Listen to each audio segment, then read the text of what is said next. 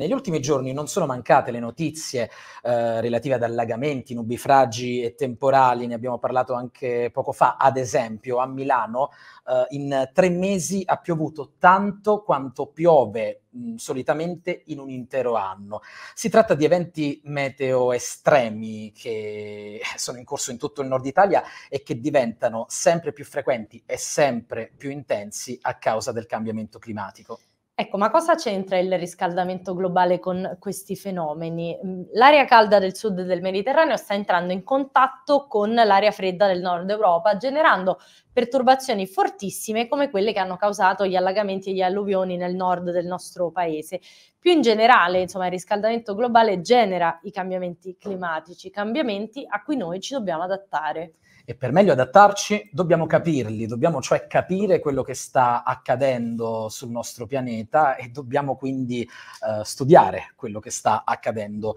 uh, sul nostro pianeta. Per questo motivo in Liguria è nata la prima Climate School italiana che si è tenuta dal 16 al 19 maggio scorso. E allora per capire com'è andata, noi abbiamo invitato qui a Rapporto Mondo il direttore scientifico della scuola che è Marco Merola, giornalista, divulgatore scientifico e fondatore di adaptation.it. Buonasera e bentornato a Rapporto Mondo. Buonasera a voi, buonasera ai telespettatori.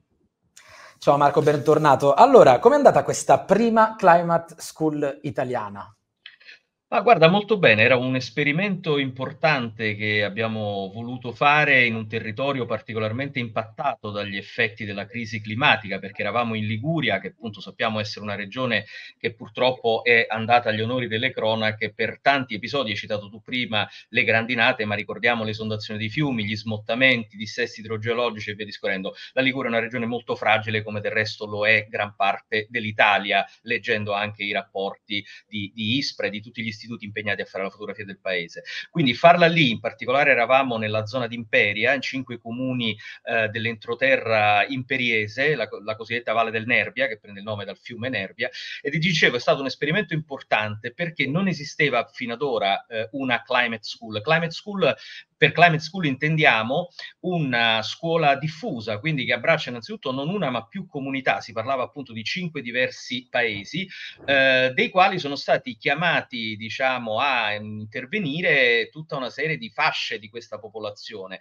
cioè eh, si è pensato di fare un programma che si rivolgesse sia agli amministratori pubblici locali, sia agli imprenditori, a chi ha delle attività economiche, lì è una, una zona a forte vocazione eh, agricola e zooteca, tecnica soprattutto, si fa tanta vitivinicoltura, si fa un ottimo vino locale importante, però senza dimenticare anche tutte le altre fasce della popolazione impattate appunto dalla crisi climatica e eh, ci riferiamo in particolar modo ovviamente alla gente comune, ai lavoratori, insomma tutti quelli che vivono in quelle zone e attenzione anche i bambini più giovani perché è da loro ovviamente che deve partire poi la vera e propria rivoluzione culturale che dovrebbe essere la base per la transizione, la famosa transizione ecologica. In questo senso eh, oltre a fare appunto dei seminari più tecnici, ce ne sono stati due particolarmente importanti, uno sull'agricoltura 5.0, dove sono venuti dei mh, docenti che ho invitato da varie università italiane, soprattutto Università di Genova, Politecnico di Torino e Università di Torino, che hanno spiegato appunto ai mh, produttori locali come utilizzare la tecnologia, l'intelligenza artificiale, i droni, la robotica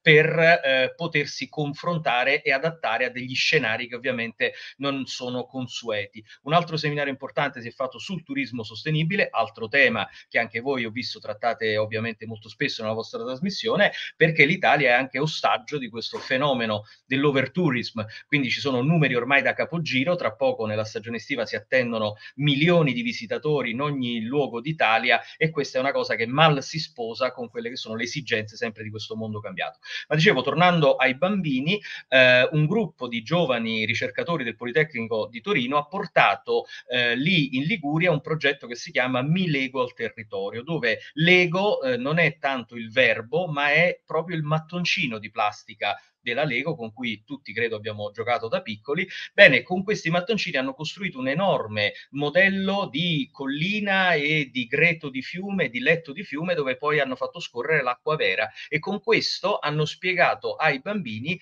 che cosa succede quando arriva una pioggia particolarmente estrema eh, con l'esondazione dei fiumi, gli smottamenti delle colline e via discorrendo. E i bambini hanno imparato dove non si deve assolutamente costruire, dove non si deve assolutamente andare ad abitare in certe situazioni. Quindi school è proprio inteso nel senso più ampio del termine.